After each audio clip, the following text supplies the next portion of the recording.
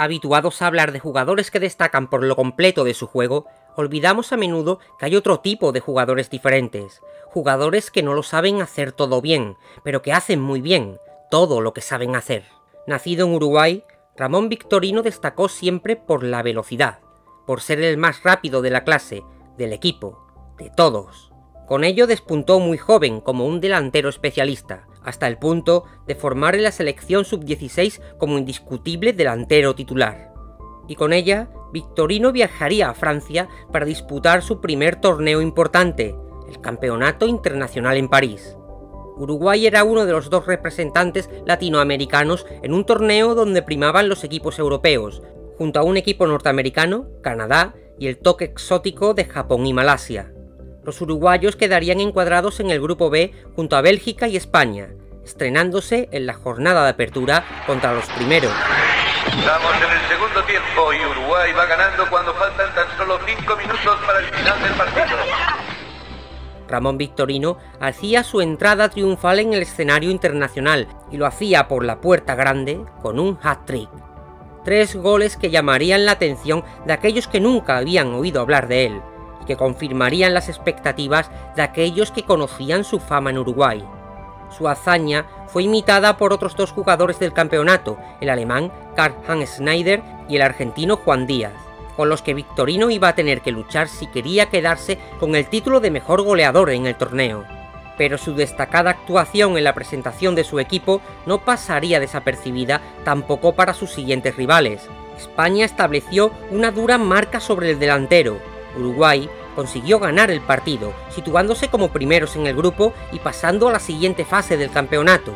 Pero Victorino solo pudo anotar un tanto en esta victoria. Sin embargo, las posibilidades de lograr su objetivo seguían intactas si conseguía continuar en el campeonato, pero para ello tendrían que salvar uno de los escollos más duros. En la semifinal, la poderosa Alemania desafiaba la continuidad de Uruguay y Schneider, el hambre goleador de su delantero estrella. Era el momento de su verdadera apuesta de largo, frente a un equipo potente, frente a un rival directo. Y como era de esperar, el uruguayo no se guardó nada desde el comienzo. Su equipo salió directamente al ataque, una jugada rapidísima abierta a la banda. Levanta Venancio, pelota muy cerrada. ¡Llega! ¡Ay!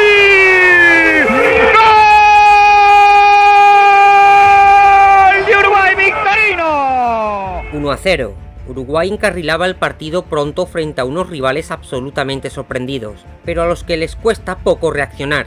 La maquinaria alemana se pone a funcionar y cuando Schneider va con todo, empata rápido con el tiro de fuego, volviendo a poner las cosas en su lugar, uno a uno, tablas en el marcador tras los goles de las estrellas de cada equipo.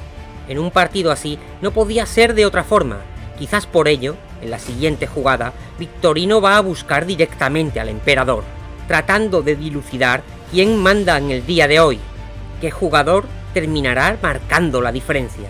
Por ello, cuando el uruguayo pierde en el duelo personal con el Kaiser y este marca el segundo, un mal augurio planea sobre la selección uruguaya. Aún así, no se daban por vencidos. Defienden bien y su delantero va a tratar de aprovechar cada balón que tenga, aunque solo en punta deba hacer todo el trabajo.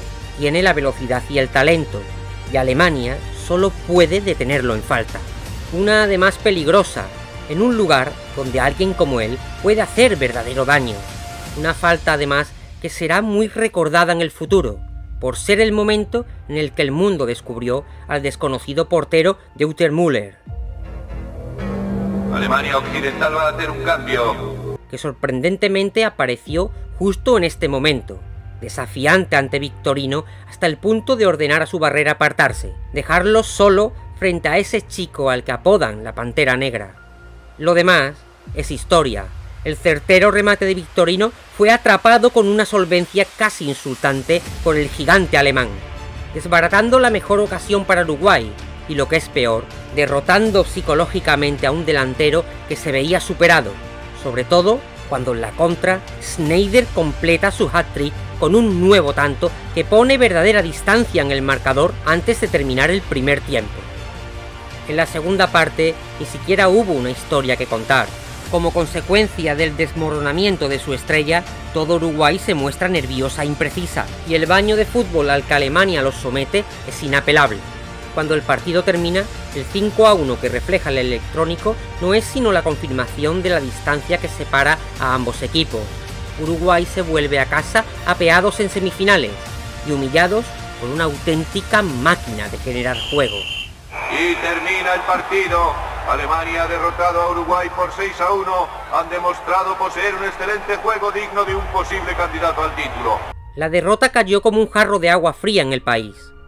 Las expectativas sobre Ramón Victorino decayeron hasta el punto de que en los siguientes años dejó de ser titular en la selección nacional dirigida por el Mr. Rubens.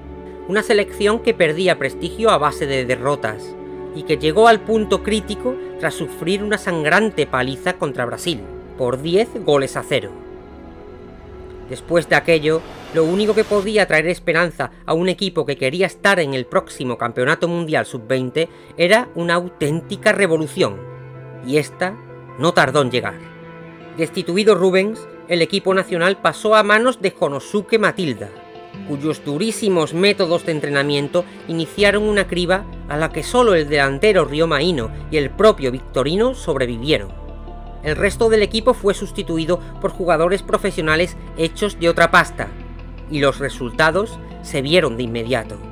No solo lograron ganar sin dificultad su plaza en el próximo Mundial pasando sobre sus rivales en la clasificación suramericana, también infundieron una sonora derrota al poderoso equipo de México, anotando 5 goles a Ricardo Espadas, uno de los mejores porteros del mundo.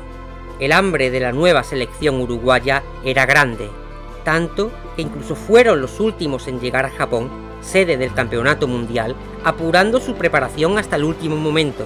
Allí, encuadrados en el grupo de Japón, Italia y casualmente México, un grupo sin duda de los más competidos, no tardaron en mostrar su carta de presentación cuando derrotaron al combinado nacional de Italia en su primer partido por 3 goles a 2. Aunque el protagonismo de Victorino fue opacado por el hat-trick de su compañero Hino, la victoria sobre una de las favoritas puso a la renovada selección uruguaya en boca de todos. En el segundo partido, en el estadio de Kashima Antlers, aguardaba Japón. Quizás por el exceso de confianza derivado de su gran comienzo, quizás por subestimar al oponente, o simplemente por las fortalezas japonesas, el partido comenzó con un intenso dominio de los locales, que pronto se adelantaron con dos tantos que ponían cuesta arriba el partido. Todos los cambios, todos los esfuerzos realizados, toda la dureza de los entrenamientos, no servían de nada contra estos jugadores orientales. Victorino se negó a aceptarlo y junto a su compañero en punta iniciaron una jugada en combinación que dejaba claro lo bien que se entendían sobre el campo, sobre todo cuando tras bajar inteligentemente el balón frente al arco japonés,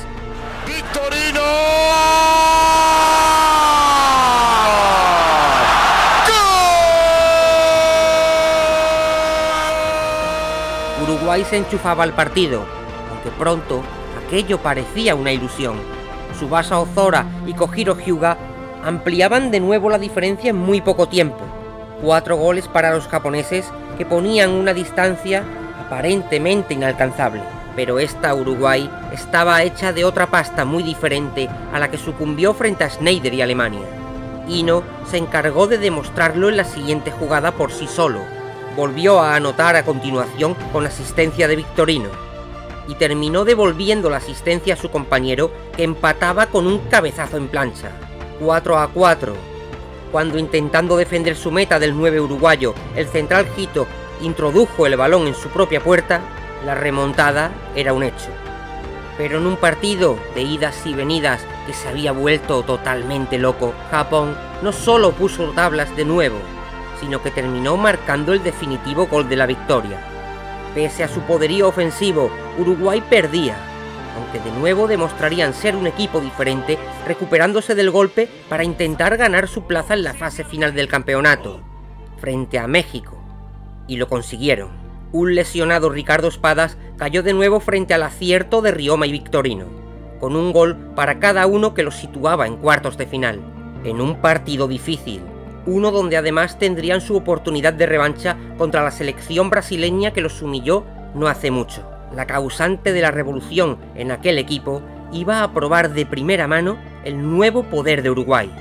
Sin embargo, a pesar de todos los cambios, del hambre y el deseo de hacer algo grande, los brasileños seguían siendo demasiado para cualquiera, y una nueva derrota por seis tantos a cero ponía de manifiesto una diferencia de nivel insalvable, y dejaba a Uruguay fuera del campeonato. Tras la nueva derrota a nivel internacional, de vuelta en el país, a Victorino esta vez no le fueron las cosas tan mal como tras el campeonato de Francia. Con sus actuaciones y goles había despertado mucho interés entre ojeadores y clubes del mundo.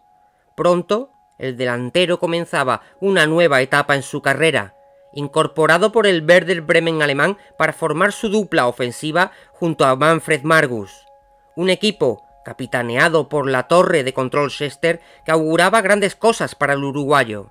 En la Bundesliga ya se frotaban las manos con las posibilidades ofensivas que ofrecía un punta tan rápido junto a un maestro del pase entre líneas como Chester.